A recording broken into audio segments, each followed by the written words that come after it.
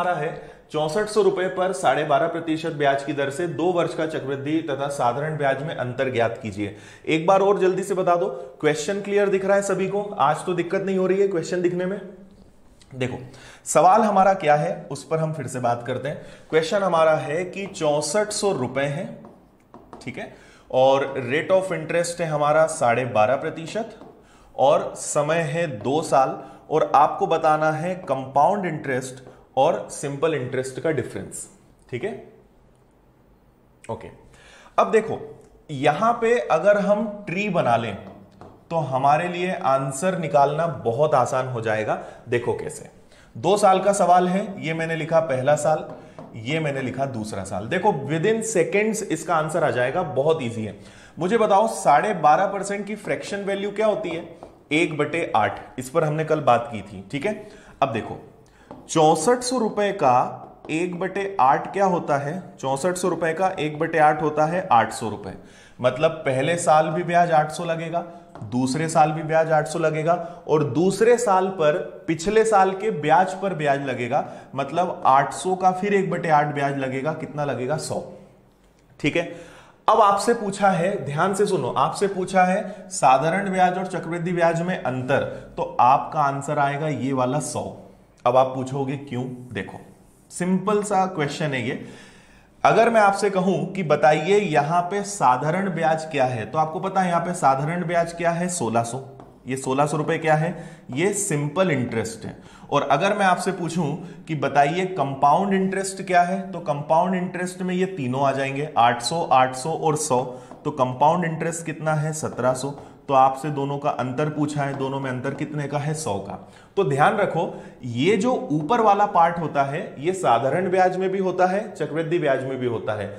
चक्रवृद्धि ब्याज में एक्स्ट्रा क्या होता है? जो फ़र्स्ट लाइन के अलावा होता है, वो चक्रवृद्धि ब्याज है। तो साधारण ब्याज और चक्रवृद्धि ब्याज में अंतर केवल कौन क्रिएट करेगा? सौ। इसलिए हमारे क्वेश्चन का आंसर क्या आ जाएगा? हंड्रेड रुपीज़ ठीक है? सिंपल क्वेश्चन था हमारा ये, और मुझे उम्मीद है कि आपको समझ में ये आ गया होगा। आइए, आगे हम बढ़ेंगे। क्वेश्चन नंबर 15 अब देखो, यहाँ से हमारा टाइप नंबर फाइव शुरू हो रहा है, और ये वाले क्वेश्चंस भी मैंने आपको कल करने के लिए दिए थे। नहीं भी बने हैं तो कोई दिक्कत नहीं है, इसको हम समझ लेंगे।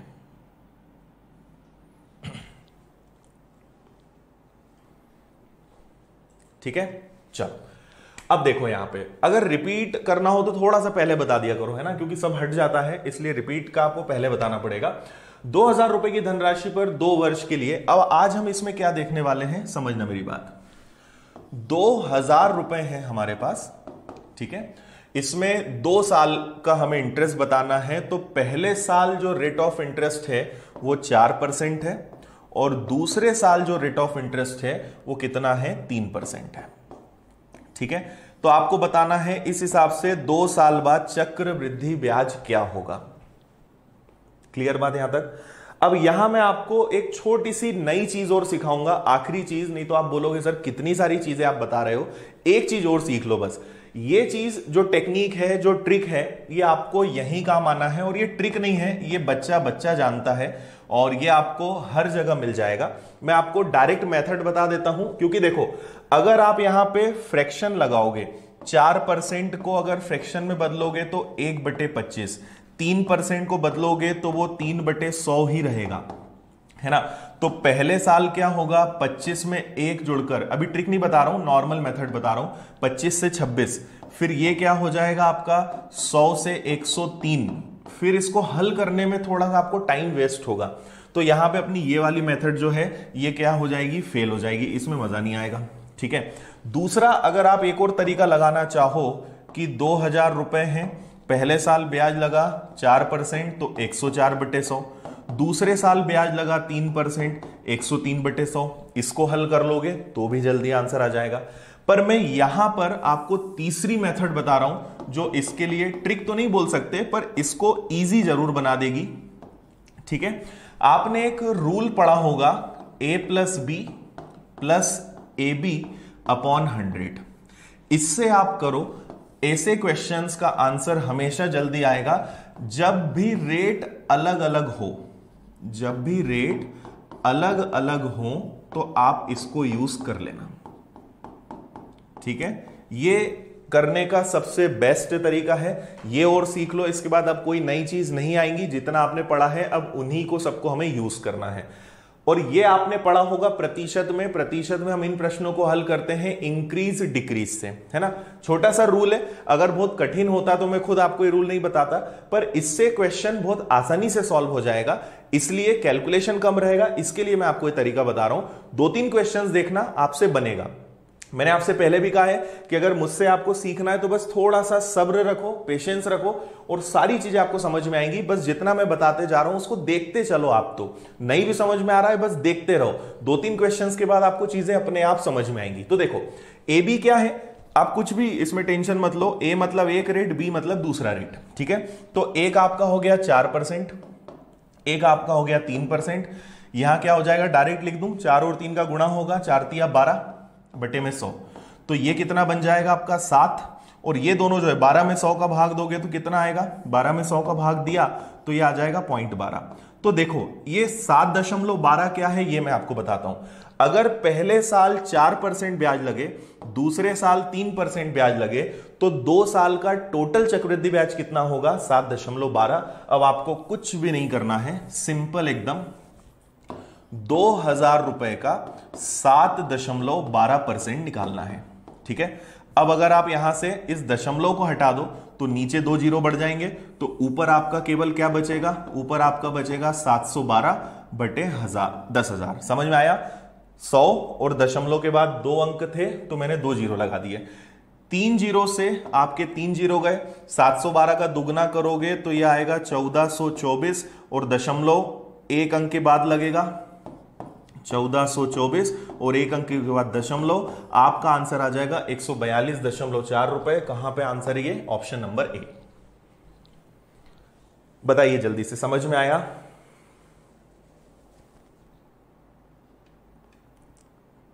यस। और ये मतलब ऐसा बिल्कुल नहीं है कि मेरा कोई तरीका है, सबसे कॉमन तरीका है पर यह तरीका आपको तभी यूज़ करना है जब रेट अलग अलग हो। भाई, पहले साल का अलग, दूसरे साल का अलग, तीसरे साल का अलग, तब इसको यूज़ करो। अगर तीन साल भी होंगे ना, तब भी इसी को यूज़ करेंगे, मैं आपको बताऊँगा कैसे।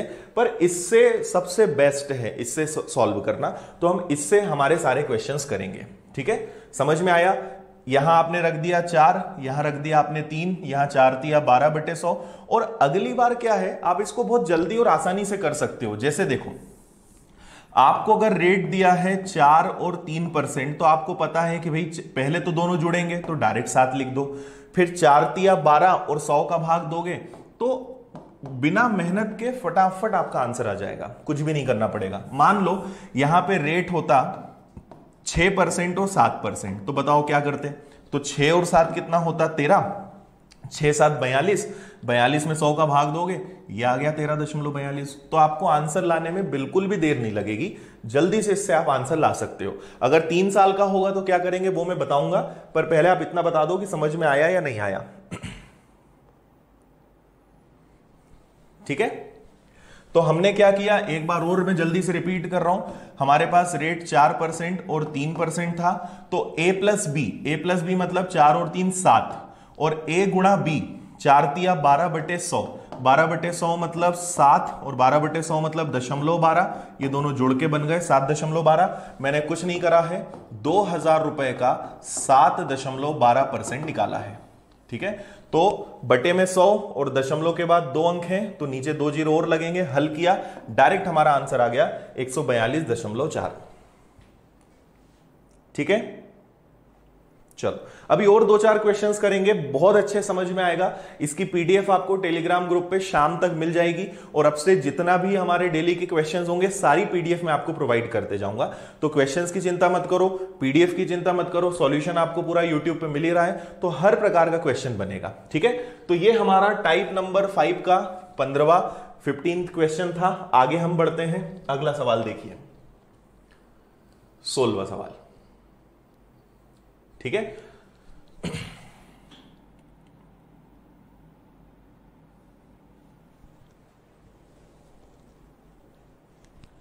नहीं जी भगवान वर्ग तीन में कंपाउंड इंटरेस्ट नहीं आता है। जितने भी बच्चे जो संविदा वर्ग तीन की तैयारी कर रहे हैं, उन बच्चों के लिए मैंने शाम को एक कैलकुलेशन वाली सीरीज़ स्टार्ट की है, जिसमें मैं दस वीडियो अपलोड करने वाला हूँ। तो आप वो ज़रूर देख लेना। रोज शाम को और वो सबके लिए काम की है वो एसएससी बैंकिंग जिसकी भी आप तैयारी कर रहे हो। अगर आपको गुणा भाग जोड़ना आ, मतलब कैलकुलेशन अच्छा करना है तो आपके लिए एक दस वीडियोस की सीरीज़ आ रही है शाम को। वो आप रोज देख लिया करना। आपको उससे बहुत सारी गुणा करने की नई नई टेक्निक सीखने को मिलने वाली है। वो वर्ग तीन की तैयारी करने वाले हर स्टूडेंट्स के लिए काम आएगी और वो सभी के लिए कैलकुलेशन सबका अच्छा होना चाहिए वो आपके लिए बहुत हेल्प करेगा। टेलीग्राम पे आपको simple the winners institute search करना है, आपको मिल जाएगा।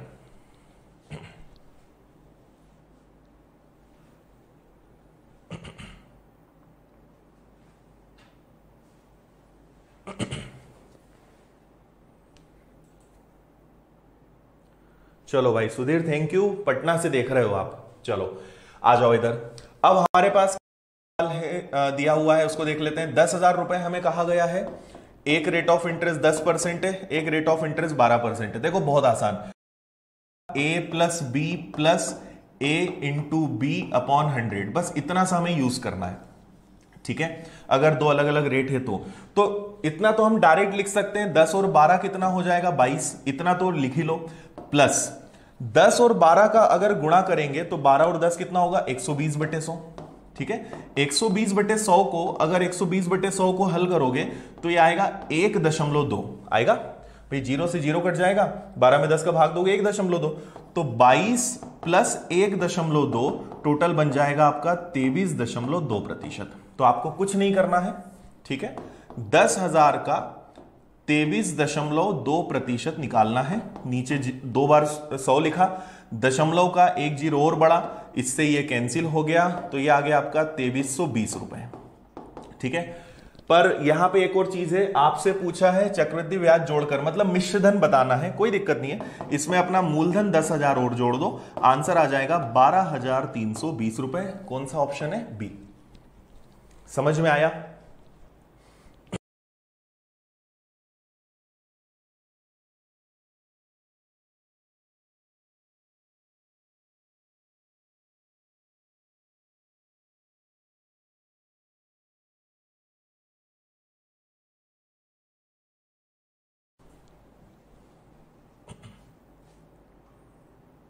रेट ऑफ़ इंटरेस्ट कहा जाए या चलो ठीक है एक काम करो इसको कर ही लेते हैं सॉल्व पाँच हज़ार रुपए।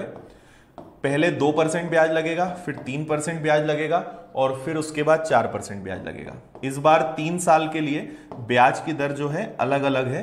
अब इसको ध्यान से सुनना क्या करेंगे। अभी भी हम यूज़ क्या करेंगे? हमारा वही वाला तरीका A plus, A plus B A plus B plus A into B upon hundred ठीक है? तो पहले हम क्या करेंगे? पहले हम इन दोनों का आंसर लाएँगे। अभी आप चार को छोड़ दो। पहले आप केवल दो और तीन पे ध्यान दो। तो देखो, दो और तीन कितना हो जाएगा? पाँच। ठीक है? और तीन और दो का गुणा होगा छह। छह में सौ का भाग दोगे तो ज़ीरो सिक्स आएगा। इतना डायरेक्ट लिख दूँ, चलेगा, कोई दिक्कत तो नहीं है। कुछ नहीं किया मैंने। अभी आप तीसरे साल को मत देखो। आप केवल पहले और दूसरे साल को देखो। तो दो और तीन परसेंट का तीन और दो हो जाएगा पाँच, तीन दुनी छह छह में सौ का भाग दिया, ये आ गया। अब हम क्या करेंगे? ये अभी क्या है? पहला और दूसरे साल का ये है। इसके साथ अब हम तीसरा साल मिलाएँगे। वो कौन सा है? चार परसेंट। तो हमारा ये वाला जो सूत्र है, इसको हम दोबारा यूज़ करेंगे।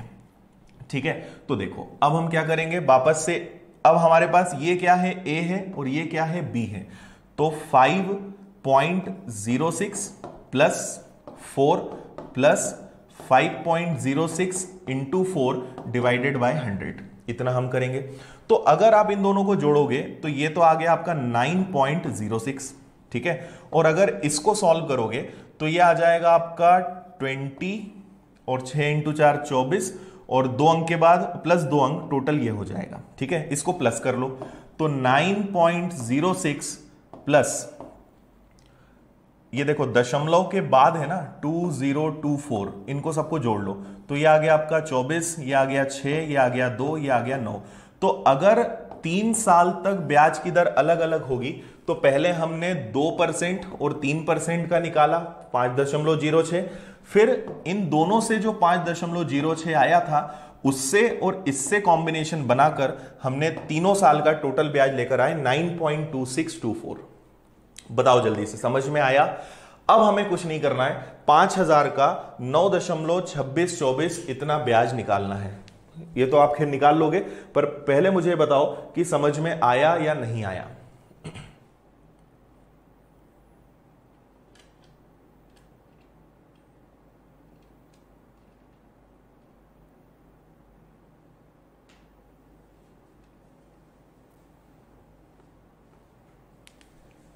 ठीक है? चलो, एक बार फिर से मैं रिपीट कर देता हूँ, सुनो मेरी बात। एक बार फिर से मैं बता रहा हूँ, ध्यान से समझना। देखो, हमारे पास यहाँ पे जो रेट ऑफ़ इंटरेस्ट है, पहले साल का दो, दूसरे साल का तीन, तीसरे साल का चार। तो तीनों को एक साथ यूज़ नहीं करेंगे। पहले पहले और दूसरे का निकालेंगे। तो दो और तीन से क्या आएगा? दो और तीन कितना होता है? पाँच। और फिर इनका हम गुणा करते हैं। तीन और दो का गुणा करेंगे, तीन दुनी छह छह में सौ का भाग देंगे तो कितना आएगा? 5.06 अगर केवल दो और तीन परसेंट होते तो इन दोनों से क्या आता? 5.06 अब हम 5.06 दो साल का ब्याज है और तीसरे साल का ब्याज चार है, इन दोनों को सॉल्व करेंगे। तो यहाँ रखेंगे 5.06 plus four plus 5.06 into four divided by hundred तो इसको अगर आप जोड़ोगे तो ये तो आ गया 9.06 ठीक है? इसको अगर आप सॉल्व करोगे तो 6 इंटू चार हो जाएगा 24 पाँच और चार हो जाएगा 20 और दो अंक प्लस दो अंक टोटल ये लग जाएगा, ठीक है? अब सबको हम जोड़ेंगे तो सबको जोड़ने पे आएगा 24 ये हो गया 6 दो और नौ। तो अगर तीनों साल का टोटल चक्रवृद्धि ब्याज कहा जाए तो वो आएगा 9.2624 परसेंट। ठीक है? देखो, बिल्कुल प्रैक्टिस होगी ना तो इसमें ज़्यादा टाइम नहीं लगेगा। और अगर आपको थोड़ा सा टाइम भी लग रहा है तो आप समझ लो कि ये बाकी तरीकों से सबसे आसान है। बाकी तरीकों में इससे भी ज़्यादा टाइम लगेगा, है ना? इसलिए ये इसको सॉल्व करने का सबसे इजी तरीका है। अब आपको क्या करना है? केवल पाँच हज़ार रुपए का, क्योंकि आंसर सारे एग्जैक्ट हैं, इसलिए हम अप्रोक्सीमेट नहीं लगा सकते। 9.2624 परसेंट निकालना है। ठीक है? और यहाँ दशमलव है। दशमलव के बाद चार अंक हैं तो चार ज़ीरो नीचे और लगेंगे। ठीक है? तो आपके तीन ज़ीरो से तीन ज़ीरो तो कैंसिल हो गए। पाँच का जल्दी से गुणा कर देते हैं। दशमलव हमने हटा दिया है। पाँच का गुणा किया, पाँच इंटू चार, बीस का दो। पाँच दो, दस और दो, बारह का दो, कैरी हो गया आपका वन। पाँच, छह, तीस और एक, इकतीस, कैरी हो गया तीन। दस और तीन, तेरह का तीन, फिर से कैरी वन। पाँच और नौ, पैंतालीस और एक, छियालीस। ठीक है? और नीचे कितने ज़ीरो हैं? चार तो एक, दो, तीन, चार। आपका यहाँ पे तीन ज़ीरो है तो ये आपका आंसर हो जाएगा। इस ज़ीरो को हम छोड़ देंगे। चार ऑप्शन नंबर बी, ये होगा आंसर। ठीक है? आप इस क्वेश्चन को बाकी मेथड से करके देखना, आपको बहुत टाइम लगेगा। आपको लग रहा है, अगर पहली बार पढ़ रहे हो तो लगेगा कि ये लॉन्ग है, बाकी आप दूसरी मेथड से कंपेयर करोगे तो ये बहुत आसान है। इसमें ज़्यादा दिक्कत नहीं आएगी आपको। ठीक है? क्लियर है? चलो। अब मैं आपको एक क्वेश्चन करने के लिए दे रहा हूँ। आप लोग खुद करके बताओ कि आंसर क्या आएगा। सिर्फ़ मुझे आप रेट ऑफ़ इंटरेस्ट बता दो। अगर पहले साल के लिए ब्याज की दर एक परसेंट हो, दूसरे साल के लिए ब्याज की दर दो परसेंट हो, और तीसरे साल के लिए ब्याज की दर अगर तीन परसेंट हो तो बताओ। तीनों साल का टोटल चक्रवृद्धि ब्याज का परसेंटेज बता दो बस। इस क्वेश्चन को छोड़ो। मैंने आपको ऐसी नॉर्मल क्वेश्चन दिया है। जल्दी से बताओ, इसका परसेंटेज क्या आएगा?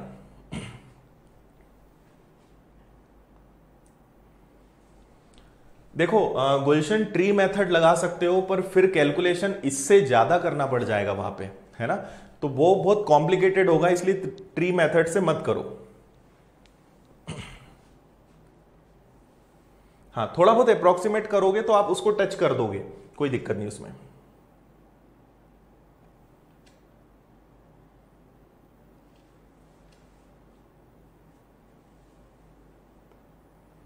ठीक है भाई?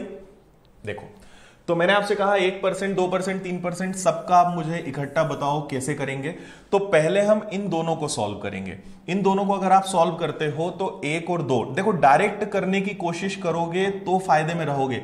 अगर आप बच्चों जैसा लिख लिख के करोगे तो आंसर तो आ जाएगा, पर टाइम आप बहुत सारा वेस्ट कर दोगे। तो इसलिए इसको बस दिमाग में रखो। तो आप पहले क्या करोगे? दो और एक, तीन। ठीक है? फिर इन दोनों का गुणा होगा दो एकम दो, और दो में सौ का भाग दोगे तो वो आएगा पॉइंट ज़ीरो टू। इतना समझ में आया? तो इन दोनों को अगर हमने सॉल्व किया तो आया three point zero two percent. अब इसके साथ हम तीन परसेंट का कॉम्बिनेशन बनाएँगे, ठीक है? तो इसके साथ आपका क्या आ जाएगा? तीन plus three point zero two into three divided by hundred. तो इन दोनों को आप अगर प्लस करते हो तो ये तो आ गया आपका 6.02 और अगर इन दोनों को ध्यान से देखो तो ये हो जाएगा आपका तीन दूनी छह, ज़ीरो और नौ. और नीचे दो अंक प्लस दो टोटल चार हैं, ये हो जाएगा. अब बस जोड़ दो 6.02 plus point zero nine zero six. और सबको बस जोड़ देना है आपका। ये ज़ीरो छ हो गया, नौ और दो ग्यारह, और ये आ गया आपका छ तो छह दशमलव ग्यारह ज़ीरो छह परसेंट हमारे प्रश्न का परसेंटेज में आंसर होगा।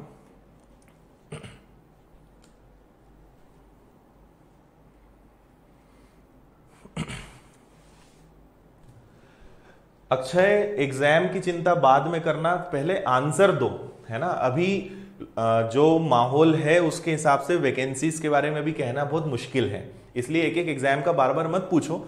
यहाँ ध्यान दो जो मैं सिखा रहा हूँ।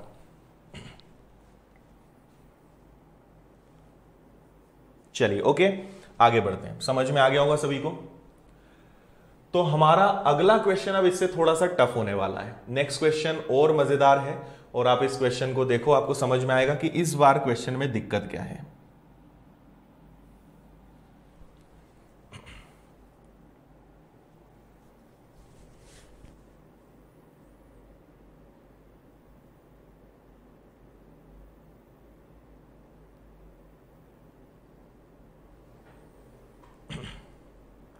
ठीक है? अब अगले क्वेश्चन में आपको यहाँ पे दिक्कत क्या है कि यहाँ पर रेट ऑफ़ इंटरेस्ट अब अपना जो फॉर्मूला है ना, वो अब यहाँ फेल हो जाएगा। देखो ट्रिक कहाँ फेल हो जाती है जब रेट इस तरीके से आ जाए कि 12 one by two fourteen two by seven तो अब यहाँ पे हमें दिक्कत आएगी। और मैंने आपको कल काफ़ी सारे क्वेश्चंस कराए थे, और मैंने कहा था कि अगर कभी भी रेट फ्रैक्शन में हो तो बेस्ट आप फ्रैक्शन वाली ही मेथड लगाओ, कोई सा भी क्वेश्चन हो। मेथड हमेशा कौन सी यूज़ करना है? फ्रैक्शन वाली, ठीक है? तो इसको हम जरा जल्दी से समझें कि यहाँ पर हम क्या कर सकते हैं। देखो, हमारा सवाल है कि आठ हज़ार नौ सौ साठ रुपए है। पहले साल हमें ब्याज लगाना है साढ़े बारह परसेंट, ठीक है? दूसरे साल हमें ब्याज लगाना है चौदह सही दो बटे सात परसेंट, और तीसरे साल हमें ब्याज लगाना है दस परसेंट, और इन तीनों साल के बाद टोटल कंपाउंड इंटरेस्ट कितना आएगा, ये हमें बताना है ओके अब देखो, सब लोग समझना, इधर ध्यान दो, और अब आप लोग सॉल्व कर रहे हो तो करके देखो, नहीं तो फिर यहाँ देखो कैसे करेंगे। आपको पता है, साढ़े बारह परसेंट की फ्रैक्शन वैल्यू क्या होती है? एक बटे आठ, ठीक है? चौदह से ही दो बटे सात की फ्रैक्शन वैल्यू क्या होती है? एक बटे सात, और दस परसेंट की फ्रैक्शन वैल्यू क्या होती है? एक बटे दस, ये तो आपको पता ही है बच्चा बच्चा ये चीज़ जानता है। अब हम क्या करेंगे? जो हमने कल काफ़ी प्रैक्टिस करी थी, प्रिंसिपल और अमाउंट मतलब मूलधन और मिश्रधन का अनुपात बनाएँगे। ये मूलधन है, ये मिश्रधन है। तो देखो, पहले साल साढ़े बारह परसेंट मतलब आठ पर एक रुपए ब्याज लगेगा। ये सब मैं कल बता चुका हूँ। तो आठ में एक जोड़ के ब्याज लगा नौ। दूसरे साल सात में एक ब्याज लगेगा मतलब सात से बढ़ के क्या हो जाएगा? आठ। तीसरे साल दस पर एक ब्याज लगेगा तो दस से क्या हो जाएगा? ग्यारह। देखो, अब अपना जो ए प्लस बी वाला फॉर्मूला है, वो फेल हो जाएगा, क्योंकि इनसे हल करने में बहुत टाइम लग जाएगा। पहली बात तो हम उसमें उलझ जाएँगे तो हम उधर देखेंगे भी नहीं फ्रैक्शन वाली मेथड से करेंगे, ठीक है? अब एक अच्छी बात पता है क्या है यहाँ पे? ये समझ में आया, आठ में एक जुड़ा, सात में एक जुड़ा, दस में एक जुड़ा तो आठ से नौ, सात से आठ, दस से ग्यारह। अच्छी बात यहाँ पर यह है कि ये कैंसिल हो रहा है। अगर कैंसिल हो रहा है तो आप कर सकते हो, और कुछ तो कैंसिल हो नहीं रहा है तो गुणा कर दो। इधर बचा सात और दस, सत्तर ठीक है? और इधर बचा नौ और ग्यारह, कितना हो गया? निन्यानवे। कि अगर सत्तर रुपए होंगे तो वो निन्यानवे बन जाएँगे। दोनों में अंतर कितने का है? उनतीस का। और ये उनतीस क्या है आपका? चक्रवृद्धि ब्याज है। अब देखो अपना क्वेश्चन बहुत आसान। आठ हज़ार नौ सौ साठ। ये क्या है? ये मूलधन है। तो मैंने आपको कहा था कि मूलधन है तो भाग भी किसका देंगे? मूलधन का। ठीक है? और पूछा क्या है आपसे? चक्रवृद्धि ब्याज। तो चक्रवृद्धि ब्याज कितना है अपना? 29 29 से हम गुणा कर देंगे, ठीक है? तो ये आपका कैंसिल हो गया। सात से आप अगर इसको कैंसिल करोगे तो सात एकम सात, फिर हो जाएगा आपका सात दुनी चौदह और सात इंटू आठ छप्पन और यहाँ आ गया उनतीस। अब हमें इन दोनों का गुणा करना है। अब मैं गुणा करने के पहले एक छोटी सी चीज़ देखूँगा। कि अगर आठ और नौ का गुणा करें तो क्या आएगा? इकाई अंक क्या आएगा? बहत्तर। आठ इंटू नौ, बहत्तर का दो। देखो, कोई ऑप्शन में दो आ रहा है क्या? बिल्कुल। तो यही अपना आंसर होगा।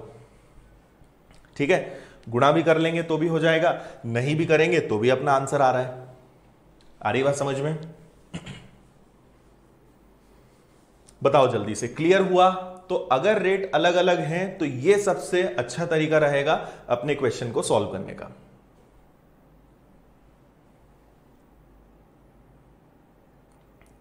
हाँ जी।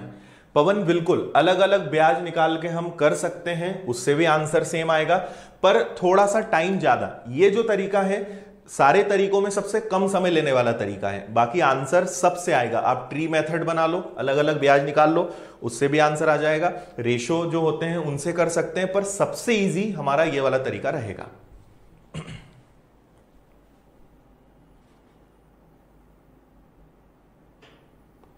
चलो 25 तक याद कर लिया है, बहुत अच्छी बात है शिवानी। ओके? समझ में आ गया सभी को? जल्दी से बताओ। किसी को नहीं समझ में आया है तो बताओ, फिर अगले क्वेश्चन की तरफ़ हम बढ़े। एक बार और बता दूँ। देखो, साढ़े बारह परसेंट का मतलब एक बटे आठ, चौदह से दो बटे सात मतलब एक बटे सात, दस परसेंट मतलब एक बटे दस। जल्दी से देख लो। एक बटे आठ का मतलब क्या होता है आपको पता है? नीचे हमेशा मूलधन होता है और ऊपर हमेशा ब्याज होता है। एक बटे आठ मतलब कि आठ पे एक रुपए ब्याज लगा। तो आठ में एक जुड़ा नौ सात में एक जुड़ा आठ, दस में एक जुड़ा ग्यारह। अगर कुछ कॉमन है तो काट सकते हैं। अगर मान लो कॉमन नहीं होता तो तीनों का गुणा करते हैं। पर आठ से आठ कट गया। सात और दस, सत्तर, नौ और ग्यारह, निन्यानवे। ये सत्तर क्या है? मूलधन है। और ये निन्यानवे क्या है? मिश्रधन है। और दोनों में अंतर कितने का है? उनतीस का। ठीक? अब क्योंकि 8960 मूलधन है तो मूलधन में भाग भी किसका देंगे? मूलधन का। और गुणा करेंगे हम ब्याज का मतलब 29 का। और हमने यहाँ इकाई अंक से ही काम लगा लिया। अदरवाइज़ नहीं होता तो फिर हमें गुणा करना पड़ता। अब देखो, अगर मान लो आपको गुणा भी करना पड़ जाए तो क्या करोगे? 128 में 29 का गुणा करना है, ठीक है? सुनना बात मेरी। तो अगर इसको थोड़ा सा आसान बनाए तो मुझे बताओ, क्या 128 को ऐसा नहीं लिख सकते? 128 को मैं लिख दूँगा 100 प्लस अट्ठाईस गुणा उन्तीस। तो अब देखो, बहुत आसान है। एक बार 29 का गुणा 100 में करना है। तो एक बार 29 का गुणा 100 में करा तो कितना आ गया? 2900 अब एक बार 29 का गुणा 28 में करना है। देखो, कल मैंने एक वीडियो भी डाला था मल्टीप्लीकेशन का, आपको याद होगा। तो आप पहले आठ और नौ, आठ इंटू नौ, बहत्तर का दो, हासिल का सात, आठ दुनी सोलह और नौ दुनी अठारह। तो ये आपका कितना हो गया? बत्तीस, तैतीस, चौंतीस चौंतीस और सात हो गया, इकतालीस का एक, हासिल का चार, दो दुनी चार और चार, आठ। ठीक है? चार और चार हो गया आठ। तो आपको बस इसमें 812 जोड़ना है। ये आ गया आपका 12 आठ दिन 16 17 और तीन, सैंतीस सौ बारह। ये हमारे क्वेश्चन का आंसर आ गया। तो ऐसे ब्रेक कर लोगे, जल्दी गुणा हो जाएगा। ये कल मैंने वीडियो डाला था कि ये कैसे किया है आप वो देख लेना। क्लियर तो ऐसे हम थोड़ा कैलकुलेशन अपना आसान बना सकते हैं। खुशबू एक बटे आठ कैसे आया? मैं आपको बता रहा हूँ, बाकी आप परसेंटेज का वीडियो देखो। ये सब मैं पहले बता चुका हूँ, है ना? जैसे आप साढ़े बारह परसेंट को सॉल्व करोगे तो साढ़े बारह परसेंट मतलब बारह दुनी चौबीस और एक पच्चीस। पच्चीस बटे दो और परसेंटेज का सौ। पच्चीस से कटेगा ये आठ बार। इसलिए हम इसको एक बटे आठ लिखते हैं। परसेंटेज की क्लास देख लो, ये सब चीज़ें मैं बता चुका हूँ। ठीक है? चलो। क्वेश्चंस कम बन रहे हैं, घबराओ मत, समझना है। आज आपको जो भी क्वेश्चन में दूँगा, वो उन सब में आपको दिक्कत होगी। इसलिए आप ये मत सोचो कि आपसे क्वेश्चन बन जाए। आप तो ये देखो कि क्या आप समझ पा रहे हो। चलो। अगला हमारा सवाल है, पच्चीस हज़ार छह सौ रुपए की राशि साढ़े बारह प्रतिशत की दर पर, यहाँ प्रतिशत डबल हो गया ठीक है? साढ़े बारह प्रतिशत प्रतिवार्षिक की दर से दो वर्ष छह माह का चक्रवृद्धि ब्याज ज्ञात करें। चलो, बहुत अच्छी बात है। अब देखो यहाँ पे क्या होगा। अब मैं आपको सिखाने वाला हूँ कि कभी भी आपसे कहा जाए कि एक वर्ष तीन माह का चक्रवृद्धि ब्याज बताओ, दो वर्ष छह माह का चक्रवृद्धि ब्याज बताओ, या फिर आपसे कहा जाए, या फिर इन्हीं को ऐसे लिखते हैं ना कि डेढ़ साल, ढाई साल तो इनसे कंफ्यूज मत होना। फिर आपसे कहा जाए कि दो वर्ष दो वर्ष तिहत्तर दिन का ब्याज बताओ तो ये सारे क्वेश्चंस का अब मैं आपको सॉल्यूशन बताने वाला हूँ कि इनको हम कैसे करेंगे। देखो, इनमें भी अगेन बहुत सारी मेथड्स होती हैं मतलब जो हमने किया है उन्हीं से कर सकते हैं। नई मेथड नहीं है, पर हम यहाँ पे ट्री मेथड भी लगा सकते हैं फ्रैक्शन भी लगा सकते हैं रेशो भी लगा सकते हैं। पर मेरा यहाँ पे सजेशन रहेगा कि कभी भी ऐसे क्वेश्चन आए कि जब आपको समय महीने या दिन में दिया रहे तो बेस्ट है कि आप यहाँ पे ट्री मेथड लगाएँ। ठीक है? अब ये ट्री मेथड क्या है? सबसे पहले दिन मैंने आपको सिखाया था। आज मैं फिर उसको डिटेल में आपको बताने वाला हूँ। चलो, समझ में आ रहा है? बहुत अच्छी बात है। मुझे भी अच्छा लग रहा है, अगर आपको समझ में आ रहा है तो। देखो, अपने क्लियर नहीं दिख रहा है तो अपने मोबाइल पे क्वालिटी थोड़ी सी आप बढ़ा लो, है ना? उससे दिक्कत हो सकती है। चलो, अब एक बार क्वेश्चन जरा ध्यान से समझना। पच्चीस हज़ार छह सौ रुपए, ठीक है? रेट ऑफ़ इंटरेस्ट हमारा साढ़े बारह परसेंट है और समय हमसे कहा गया है कि दो वर्ष छह माह का चक्र वृद्धि ब्याज बताओ क्या होगा। अब मेरी एक बात सुनना। कभी भी आपसे अगर कहा जाए कि दो वर्ष छह माह तो आप उसको फि, राउंड फिगर में लो। हम हमेशा क्या करेंगे? दो साल तीन साल चार साल का पहले निकालेंगे। आपसे बोला है दो वर्ष छह माह दो साल से अगर थोड़ा सा भी ज़्यादा है तो आप तीन साल का ब्याज निकालो पहले। अगर आपसे बोलते, एक वर्ष, एक माह, एक साल से अगर थोड़ा सा भी ज़्यादा है तो दो साल का पहले निकाल लो। मेरी बात समझना।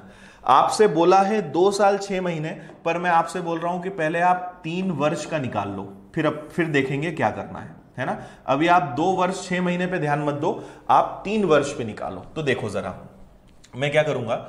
यहाँ मैं लिखूँगा पहला साल ये मैंने लिख दिया दूसरा साल और ये मैंने लिख दिया तीसरा साल, ठीक है? और आपको पता ही है, जस्ट अभी हमने देखा था, साढ़े बारह परसेंट का फ्रैक्शन क्या होता है? एक बटे आठ, और हम पहले पूरे तीन साल का ब्याज निकालेंगे, ठीक है? देखो तो पच्चीस हज़ार छह सौ का, पच्चीस हज़ार छह सौ का साढ़े बारह परसेंट निकालना है, या आठ का भाग दे दें, एक ही बात है तो आठ का अगर मैंने भाग दिया, आठ दिया चौबीस, आठ दुनी सोलह तो बात समझना। पहले साल भी ब्याज कितना लगेगा? बत्तीस सौ। दूसरे साल भी ब्याज कितना लगेगा? बत्तीस सौ और तीसरे साल तीसरे साल को भी रोक लो, चलो। ठीक है? फिर पहले साल का ब्याज बत्तीस सौ बत्तीस सौ का फिर एक बटे आठ ब्याज लगेगा तो बत्तीस सौ का एक बटे आठ ब्याज क्या होता है? चार सौ। तो ये हो गया। तीसरे साल बत्तीस सौ ब्याज तो लगेगा, लेकिन एक्स्ट्रा क्या होगा? इस पर भी आपको ब्याज देना है तो बत्तीस सौ का एक बटे आठ, चार सौ। इस पर भी ब्याज देना है, चार सौ। इस पर भी ब्याज देना है तो चार सौ का एक बटे आठ। देखो, चार सौ का एक बटे आठ क्या होता है? पचास। ठीक है? इतना बताओ, जल्दी से समझ में आया? पहले साल का ब्याज बत्तीस सौ, दूसरे साल का ब्याज भी बत्तीस सौ, पर दूसरा साल क्या बोलेगा? मुझे पिछले साल के ब्याज पर ब्याज चाहिए तो पिछले साल का ब्याज बत्तीस सौ बत्तीस सौ का एक बटे आठ कितना होता है? चार सौ, ये आ गया। ठीक है? तीसरे साल पे पहले तो ब्याज लगेगा बत्तीस जो मूलधन पे लग रहा है, फिर पहले साल के ब्याज पर ब्याज, दूसरे साल के ब्याज पर ब्याज, और इस ब्याज पर भी ब्याज, ये टोटल हो गया। अब अगर मैं इन सबको जोड़ देता हूँ तो ये कितने साल का ब्याज होगा? तीन साल का। पर हमसे तीन साल का नहीं पूछा है। हमसे पूछा है दो साल छह महीने का, है ना? देखो, मैं आपको समझा रहा हूँ, इसलिए थोड़ा सा टाइम आपको लगेगा। बाकी एक बार समझ लोगे तो बहुत जल्दी कर लोगे ऐसे सवालों को, ठीक है? अब हम आगे देखेंगे कि इसका क्या किया जाए। सुनना आगे बात मेरी ध्यान से। ठीक है? मुझे बताओ, पहले साल का टोटल ब्याज कितना है? बत्तीस ठीक है? दूसरे साल का टोटल ब्याज कितना है? बत्तीस सौ प्लस चार सौ, कितना हो गया? छत्तीस सौ। अच्छा तीसरे साल का टोटल ब्याज कितना है? तो देखो, तीसरे साल का ब्याज है बत्तीस सौ और ये हो गया आपका आठ सौ मतलब चार हज़ार और ये आ गया आपका पचास। ठीक है? बत्तीस सौ, चार सौ और चार सौ, आठ सौ मतलब चार हज़ार पचास। अब ये बताओ कि ये जो टोटल चार हज़ार पचास है, ये तो पूरे साल भर का ब्याज है। ये पूरे तीसरे साल का ब्याज है, पर मुझसे क्या पूछा है? दो वर्ष और छह महीने का। तो अगर मैं इसका आधा कर दूँ तो ये छह महीने का ब्याज नहीं हो जाएगा। तो चार हज़ार पचास का आधा क्या होता है? दो हज़ार पच्चीस। और अब हम सबको जोड़ देंगे। देखो, पहला साल, दूसरा साल और ये तीसरे साल का आधा मतलब छह महीने का ब्याज। सबको जोड़ो। तो ये आ गया आपका पच्चीस, ये आ गया आपका छह और दो आठ, तीन तीन, छह और दो आठ। तो आंसर आ जाएगा आपका आठ हज़ार। कहीं कुछ मिस्टेक करिए क्या हमने? एक बार चेक करो जरा, कहीं कोई गड़बड़ हुई है क्या? बत्तीस सौ, छत्तीस सौ, चार हज़ार पचास, चार हज़ार पचास का आधा हो जाएगा अपना बीस, पच्चीस छ तीन तीन छ और दो आठ। ठीक है मे बी ऑप्शन रॉन्ग हो सकता है। तो अपना करेक्ट आंसर जो होगा, वो होगा आठ हज़ार आठ सौ पच्चीस। ठीक है? ऑप्शन में थोड़ा सा गड़बड़ है, इसको हम सही कर लेंगे। करेक्ट आंसर होगा हमारा आठ हज़ार आठ सौ पच्चीस। देखो, इतना समझो, फिर मैं आपको बता रहा हूँ। देखो, हमने क्या किया? आपसे बोला था दो साल, छह महीने का ब्याज बताओ। मैंने कहा कि आप तीन साल का ब्याज निकाल लो। ये पहला साल, ये दूसरा साल, और ये पूरा तीसरा साल। अब उन्होंने पूरा तीन साल का ब्याज नहीं पूछा। उन्होंने बोला है, छह महीने का ब्याज बताओ। तो हमने क्या किया? देखो, ये कितने महीने का ब्याज है? चार हज़ार पचास जो है, कितने महीने का ब्याज है? बारह। पर आपसे पूछा कितने महीने का है? केवल छह। तो इतना सा कर लेंगे। अगर वो आपसे बोलते कि दो साल, दो महीने का ब्याज बताओ तो क्या करते? दो साल का तो निकालते, और ये पूरे बारह महीने का ब्याज है। हम यहाँ केवल कितने महीने रख देते? दो। तो जो भी बोला जाएगा, वो कर देंगे। आया समझ में या नहीं आया, जल्दी से बताओ। बिल्कुल, इंदौर आओगे तो मुझसे ज़रूर मिलना, ओके? एक बार जल्दी से मुझे बता दो, समझ में आया या नहीं आया, है ना? ये पूरे 12 महीने का ब्याज है। अब आपसे जितने महीने बोलेंगे उसका गुणा कर देना। आपसे बोला था, छह महीने का ब्याज बताओ। तो भाई, ये बारह महीने का ब्याज है तो छह महीने का ब्याज क्या होगा? इसका आधा कर देंगे। आपसे बोलते कि नहीं, मुझे केवल तीन महीने का ब्याज बताओ तो नीचे तो हमेशा बारह ही आएगा। आपसे बोलते, तीन महीने का ब्याज बताओ, तीन से गुणा कर देते। तीन से कटता है चार बार, चार का भाग दे देते। तो जो बोलेंगे, वो आप कर सकते हो। ठीक है? जल्दी से यस या नो लिख के बता दो। है ना? ये मैंने आपको सबसे पहले दिन सिखाया था ये ट्री बनाना कि ये ट्री कैसे बनता है। ये मैंने आपको सबसे पहले दिन बताया था। क्लियर है? अब एक बात और सुनो। और मेरी सलाह आपको यहाँ रहेगी कि आप इसी से करना फ़ायदे में रहोगे।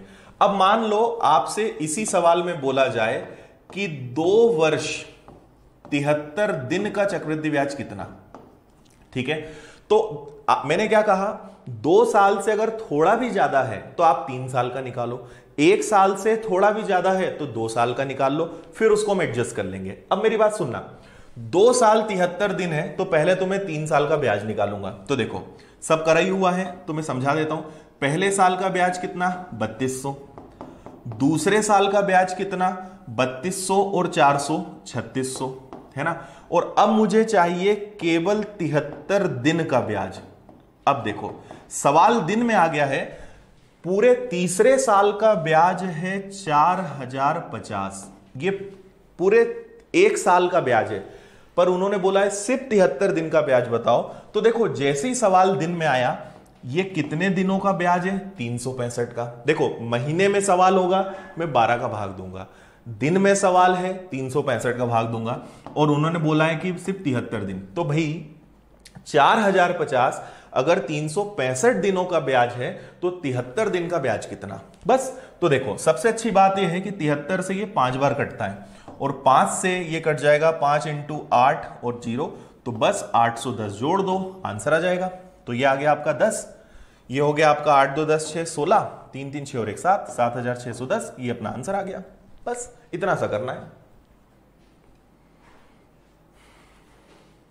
समझ में आई बात? सबसे अच्छा तरीका मैं बता रहा हूँ, और बहुत सारे तरीके हैं, पर हमेशा ट्री बनाओ, बेस्ट है। हमेशा संख्याएँ बहुत अच्छे से सेट हो जाएँगी, और अगर दो डेढ़ साल का बोलते तो और आसान होता। ये पहले साल का ब्याज, और इस, ये दूसरे साल के ब्याज को आधा कर दो, जोड़ दो, डेढ़ साल का ब्याज आ गया। बस।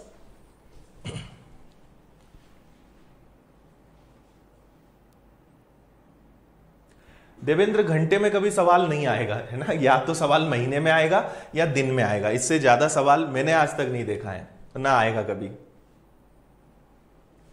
विनर्स की जो एप्लीकेशन है ऐप दो तीन दिनों के अंदर अंदर आने वाली है। जैसे ही आएगी, मैं आपको बताऊँगा, उसको लेकर हम एक वीडियो भी बना देंगे। ठीक है? लीप ईयर का टेंशन मत लो, तीन सौ पैंसठ का ही भाग देना, है ना? अगर लीप ईयर कुछ होगा तो वो कहेंगे, बाकी आपको कुछ नहीं बोला है तो तीन सौ पैंसठ का भाग देना है। इतना मत सोचा करो ज़्यादा। चलो वेरी गुड आगे बढ़े। नेक्स्ट अगला हमारा क्वेश्चन है जो आप लोगों को करके बताना है। है ना? क्वेश्चन नंबर ट्वेंटी पचास हज़ार रुपए की राशि पर छह प्रतिशत वार्षिक दर से डेढ़ वर्ष का चक्रवृद्धि ब्याज क्या होगा? अब मैं चाहूँगा कि ये तो आप लोग करके बताओ। है ना? कल हम लोग और चीज़ें इंपॉर्टेंट वार्षिक, अर्धवार्षिक, ये सारे कॉन्सेप्ट भी हम अगला पढ़ने वाले हैं।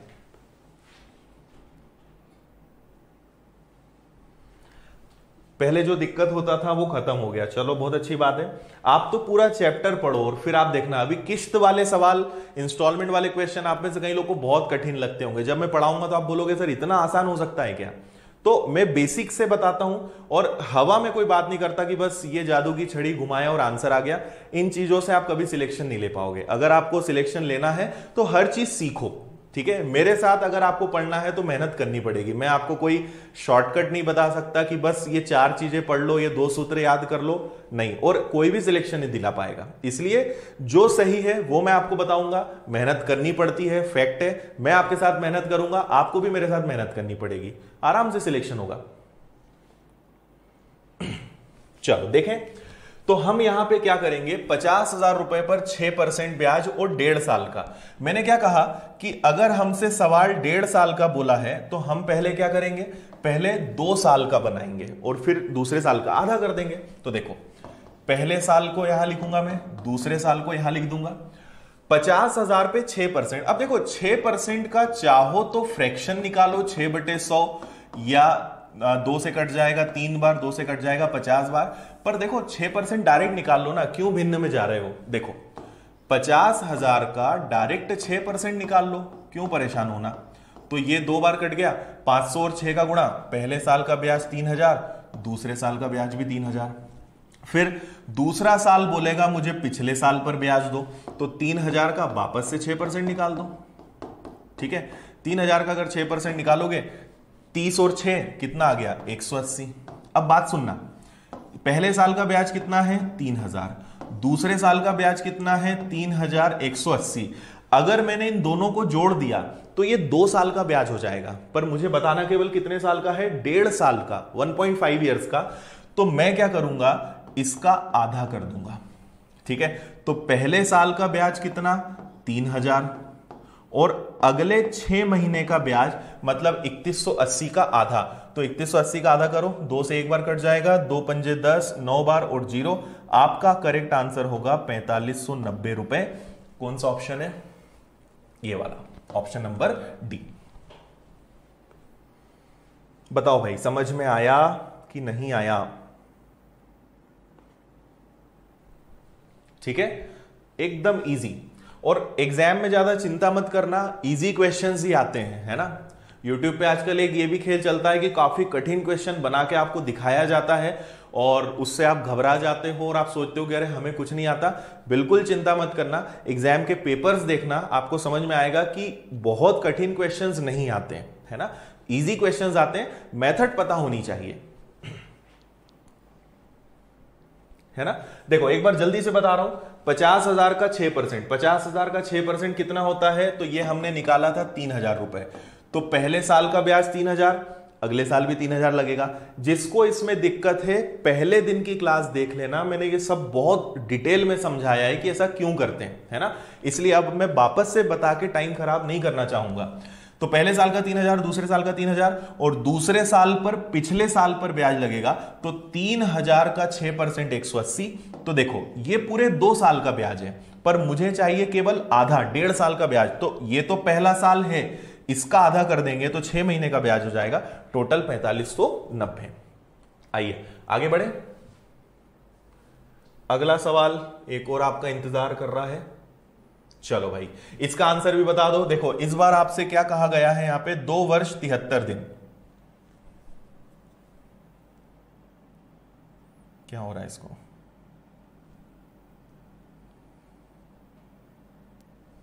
हम्म। दो वर्ष तिहत्तर दिन का ब्याज आपको बताना है। कर लोगे? जैसे ही दो साल से थोड़ा सा ज़्यादा आया, आप कितने साल का ब्याज निकालोगे? तीन साल का, और उसको एडजस्ट कर दोगे।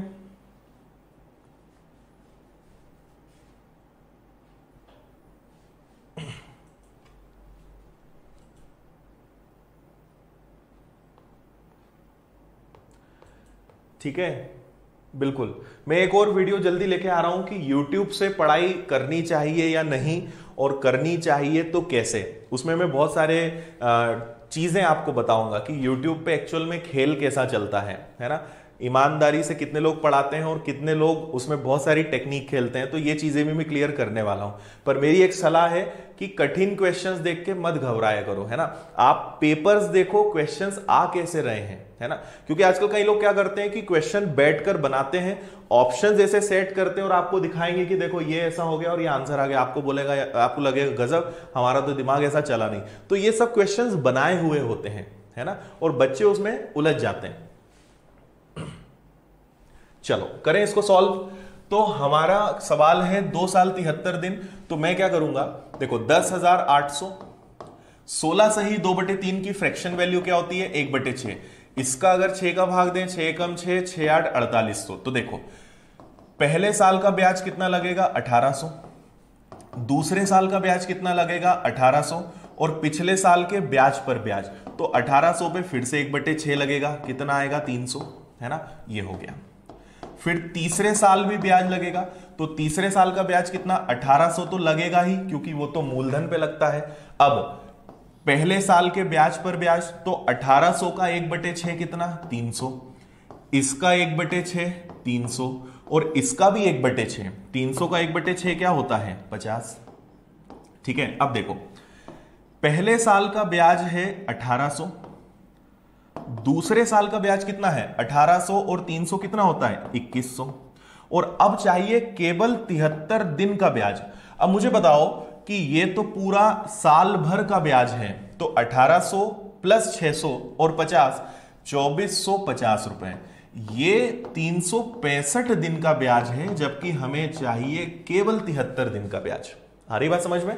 तो तिहत्तर से ये कैंसिल हुआ पाँच बार पाँच से इसको कैंसिल किया तो पाँच इंटू चार, नौ और ज़ीरो तो सिर्फ़ तिहत्तर दिन का ब्याज होगा चार सौ नब्बे, सबको जोड़ देंगे। तो ये आ गया आपका नब्बे, फिर क्या हो जाएगा? आठ, चार, बारह और एक, तेरह का तीन कैरी वन और ये चार चार हज़ार तीन सौ नब्बे, ये हमारे क्वेश्चन का आंसर है।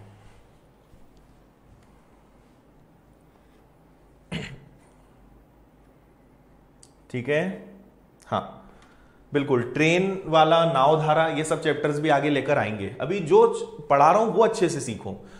आगे भी सारे चैप्टर्स हम लोग करेंगे।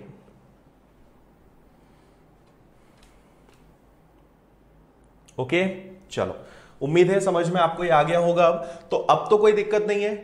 तीन महीने, चार महीने, कुछ भी कहें। महीने में सवाल है, बारह का भाग दो, जितने महीने पूछा है, उसका गुणा करो। दिन में सवाल है, तीन सौ पैंसठ का भाग दो, जितने दिन बोला है, उससे गुणा कर दो।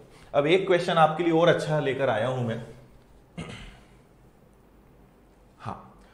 ये सवाल है छियासी हज़ार चार सौ रुपए, सोलह सही दो बटे तीन प्रतिशत की वार्षिक दर, और आपको बताना है एक वर्ष दो माह में चक्रवृद्धि ब्याज कितना होगा। कर लोगे क्या? ये आपका होमवर्क रहेगा, इसको कर लेना। ठीक है? ये होमवर्क है, इसको आप करना और कल मुझे बताना, इसका आंसर क्या आया। ठीक है? स्क्रीनशॉट इसका ले लो और इसको कर लेना। ये एक थोड़ा सा नया सवाल है आपके लिए, जो हमने अभी किया है, उससे हटके है। इस सवाल को देखो, ये वाला मैं करवाता हूँ आपको।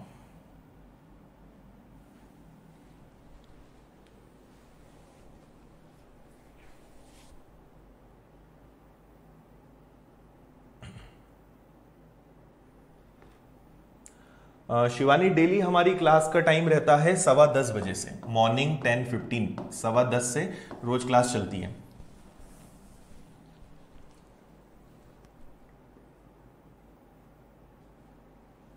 ठीक है, बिल्कुल। देखो लॉकडाउन खुल भी जाएगा तो भी मैं पढ़ाते रहूँगा, है ना? पर लॉकडाउन को खुलने दो।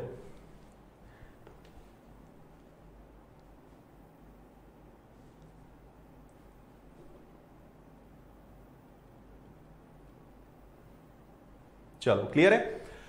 अब यहाँ पे क्या दिक्कत है, वो समझते हैं। एक निश्चित धनराशि। अभी तक हमारे प्रश्नों में क्या हो रहा था कि मूलधन दे देते थे, बस कैलकुलेट करना था। इस बार गड़बड़ यह है कि आपको रेट ऑफ़ इंटरेस्ट दे दिया है चौदह दशमलव अट्ठाईस और मैंने आपको पहले भी कहा है कि दशमलव और भिन्न दोनों याद कर लेना।